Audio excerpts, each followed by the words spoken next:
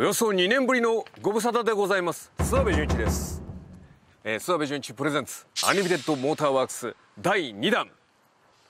2年という長き歳月を経てついにいきなりこの のどかなチャイムが鳴り出しましたが、えー今回私えー千葉県の方にやってきております。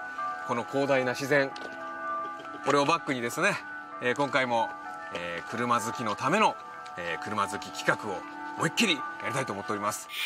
はいもうすでにご存知と思いますけども第1弾同様素敵なもうもはやですねゲストではなくレギュラーレギュラーゲスト素敵な声優界きっての車大好きさんをご紹介したいと思います。呼び込みますよ。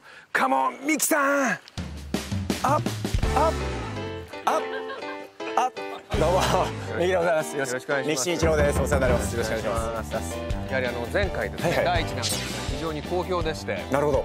やはりミキさんと私がですね、はい。もう子供のように車の周りでキャッキャキャッキャしキャッキャキャッキャしてるのがねね激しくしてましたね非常にあれがですね好はい評で、はい第2弾をというお話をたくさんいただいていたんですが、はい気がつけば2年経ってました合ってますねあっという間ですよ今回もですね非常に楽しくですね車と戯れたいと思うわけなんですが、あすみませんその前に聞いていいですか？はいはい。僕どの立場なんですか？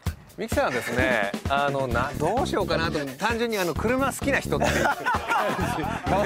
車好きな人来ちゃったみたいな、はいわかりました。いやもちろんあの僕ねあの車大好きなんですけど、やっぱりこうより一層詳しくて、はい。大好き感がある人がいてくださった方が、うん。より盛り上がるかなと思ってえー今回も三木さんにですね、はい。だからあのアニメテッドモーターワークス諏訪部順一プレゼンツアニメテッドモーターワークスフィーチャリングミッキー新一のここまでが あの基本タイトルになりました。フィックスされたんですね。はい、なるほど。のでもうレギュラーです。わかりました。はい、お世話になります。でで今回は あのゲストがいます。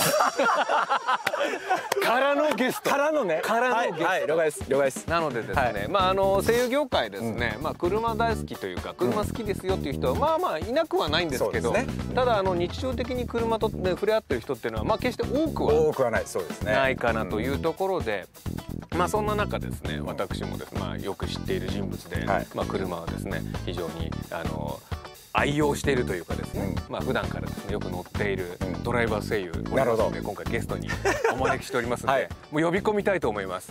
カモンうわー来た来た来た来た来たイエイ。あどうもどうも。あ鈴村健二です。はい。やった。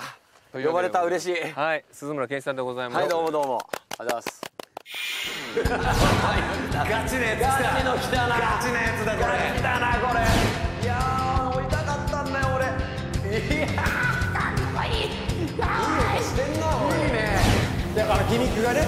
ギミック。このギミックあー何このギミックこの力強さ社長には必要じゃないかな。欲しい。ねどう？すごい。この高鳴り高鳴る